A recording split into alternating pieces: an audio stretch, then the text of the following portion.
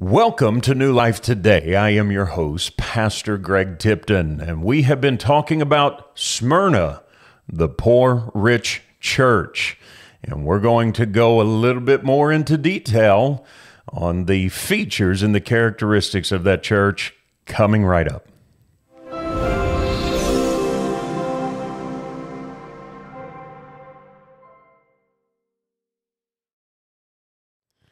So in Revelation chapter 2, starting in verse 8, working its way through verse 11, Jesus talks or gives a letter, writes a letter, dictates a letter to this church of uh, Smyrna. And uh, in the previous video, which you should be able to find the link to that in the description, uh, Jesus, uh, or we talk a little bit about uh, the meaning of Smyrna that uh, it it typifies the word itself typifies or pictures um, tribulation, persecution, pressure, trouble. Which uh, really, this church you'll know it better because most of the time in your heading in your Bible it talks about the persecuted church. However, again, I call it the poor rich church, and there's a reason for that, and we'll we'll see that in just a moment. But we talked a little bit about that meaning, talked a little bit about the church that is um, uh, persecuted and what it meant, and when Christ came, and the gifts that were given gold, frankincense, myrrh, or Smyrna pictured uh, suffering and his suffering for the innocent, the or the guilty. He was innocent, we were guilty, yet he suffered for our sin. But Smyrna itself was not just a city, a church that was persecuted, but Smyrna, the city itself, had a lot of glory attached to it. Uh, the glory of Smyrna, the city of Smyrna, was a political center. Uh, it was a proud city. It was a magnificent city. It's beautiful. Um, it's uh, it was a uh, there was uh, a couple of things about it that was uh, characteristic. It was a political center because of Smyrna's loyalty to the Roman Empire throughout all of their civil wars. Uh, they had the uncanny ability of coming out on the winning side of every uh, campaign of war that uh, Rome fought.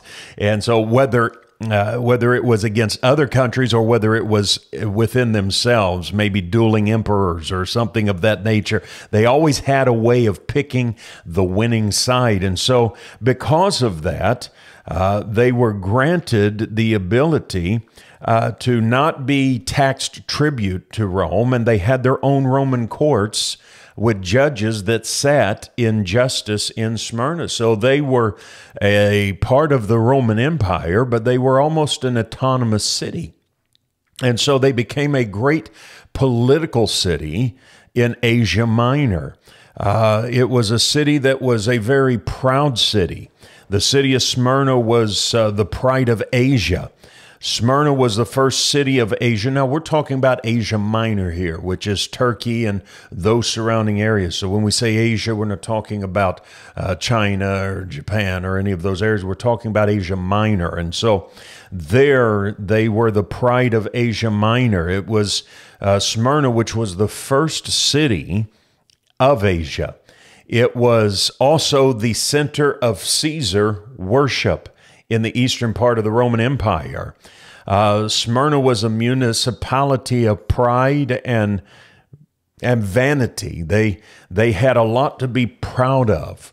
Uh, they were beheld as a glorious city. In fact, uh, when they had faltered for just a little while, uh, over about a 300 year period. It was Alexander the Great that came back after he conquered and took Smyrna. It was he that rebuilt Smyrna to its former glory and even beyond. And it became once again a beautiful bastion uh, of pride and vanity. To Smyrna, though, the issue was that worldly things were the first and the last and God was not supreme. Now, this is important for us to pay attention to because that's kind of where we are in our world today, and not just in our world, but in America. Uh, in America, worldly things are first and they're last. Uh, the creature comforts, the uh, great things, they are the first, they're the last. They're the things we work towards. They're the things that we will actually work ourselves to death for and kill ourselves for to have stuff and to be able to do stuff and to enjoy stuff. And so we find that as the first and the last. We will sacrifice family. We will sacrifice our spiritual walk. We will sacrifice friends. We will sacrifice our health. So many things in order to gain a hold of those worldly things. So when Jesus introduces himself, now remember in previous videos I talked about this, that every time Jesus introduces himself, he does it in a manner in which is significant to uh, this uh, to to that particular church.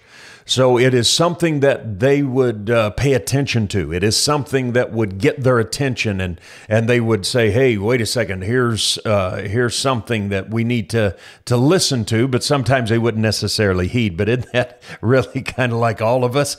I mean, we get a message. Maybe it's from the Word of God. You know, I I forget what preacher it was that made this statement, but truer words were never uttered when he said, "Prayer is me talking to God, but me." Reading the Bible is God talking back to me. And sometimes we'll read our Bible, we'll read the Word of God, and from those pages will leap off at us uh, a message from God to our heart, to our spirit, and we will hear it, but we won't necessarily heed it. And this is what uh, Smyrna kind of uh, did. And so when Jesus introduces himself to the church of Smyrna as the first and the last, he who was dead and came back to life. To Smyrna, they themselves and everything that was in their city to them was all in all. And that's what they press towards. But Jesus is about to talk to them just a little bit. There is a um, division uh, in this city, there is a group that is called Christians and there is the city itself.